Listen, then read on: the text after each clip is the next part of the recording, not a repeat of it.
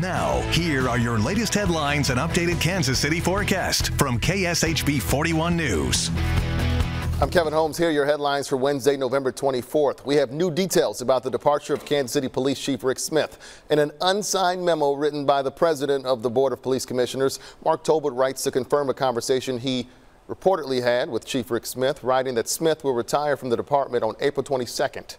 He will be compensated at, at, his current salary through the end of August. The memo is dated November 23rd. That's yesterday. It's the same day Mayor Quinton Lucas and Tolbert met with Chief Smith. KCPD spokesperson told us Smith made a commitment when he was hired in 2017 to stay on the job for no more than five years. The announcement yesterday of Smith's departure came, though, just days after a KCPD detective was convicted of involuntary manslaughter in a 2019 shooting death. The City of Independence knows of two confirmed cases stemming from the Best Little Arts and Crafts show at the Sermon Center. The city's health department strongly encouraging everyone who attended to get tested for COVID-19 within the next week. KCI expects the number of people flying this weekend will near pre-pandemic levels. Nationally, the busiest flying days ahead are expected to be Saturday and Sunday. KCI expecting more than 300,000 passengers this holiday weekend.